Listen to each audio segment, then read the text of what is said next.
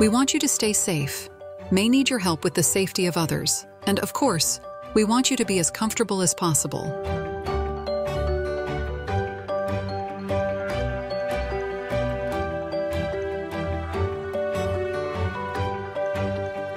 Accidents, by their nature, occur when you don't expect them. Most boating injuries occur when docking, so please let the crew handle their tasks and remain seated until the captain tells you that it is okay to move around or disembark. Calm and beautiful waters can be deceiving. Our Pacific Northwest waters remain cold year-round. We want you to be careful, so when venturing out of the areas marked in gray, please wear a personal flotation device or life jacket and always use three points of contact, as I am showing you here.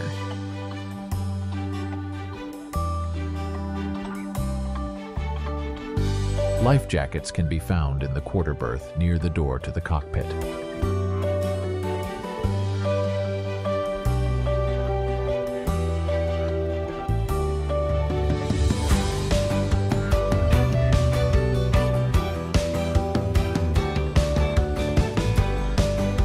Should someone fall overboard, get our attention by calling out, Man overboard!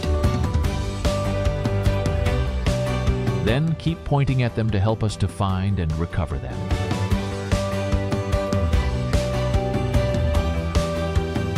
Several first aid items are located in the bottom drawer of the drawer stack next to the cabin door. Emerson carries three fire extinguishers and everyone should know where they can be found. To port and forward in the stateroom, outboard of the shelving.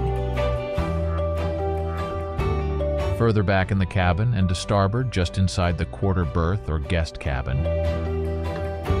And the third is in the cockpit area to starboard, just inside this storage locker.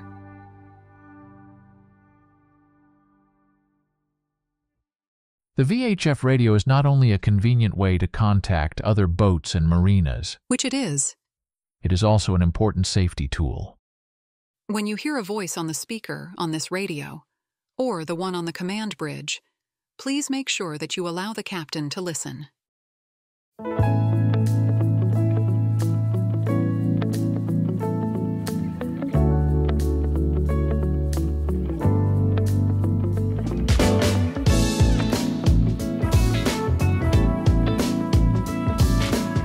If you get seasick, let us know and we will try to help. Days they grow shorter with every hour, every minute of every day.